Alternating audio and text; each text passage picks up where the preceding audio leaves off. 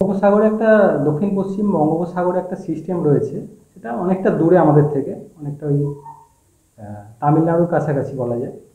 তো সেটারই প্রভাবে খানিকটা মেঘ প্রবেশ করছে আমাদের দিকে। এই কারণে আগামী দু তিন দিন আংশিক মেঘলা আকাশ থাকার সম্ভাবনা রয়েছে।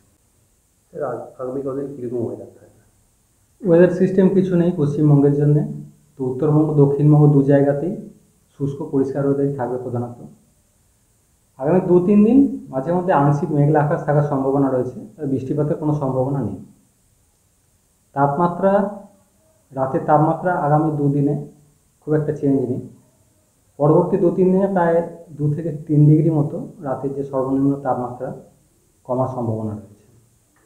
কলকাতা বা তার পার্শ্ববর্তী অঞ্চলে দিনের তাপমাত্রা মোটামুটি তিরিশ ডিগ্রির কাছাকাছি থাকবে।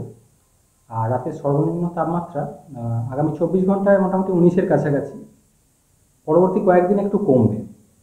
মোটামুটি বাইশ তারিখের পর থেকে একটু কমতে শুরু করবে কমে মোটামুটি সতেরোর কাছাকাছি একটু নামবে। উত্তরবঙ্গের ক্ষেত্রে তাপমাত্রা কোনো পরিবর্তন আগামী চার পাঁচ দিনে থাকবে না।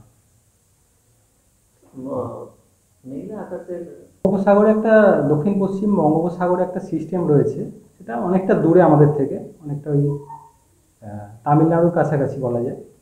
তো সেটারই প্রভাবে খানিকটা মেঘ প্রবেশ করছে আমাদের দিকে। এই কারণে আগামী দু তিন দিন আংশিক মেঘলা আকাশ থাকার সম্ভাবনা রয়েছে। কুয়াশার কোনো না সেরকম কিছু মানে সিগনিফিক্যান্ট কিছু থাকবে না।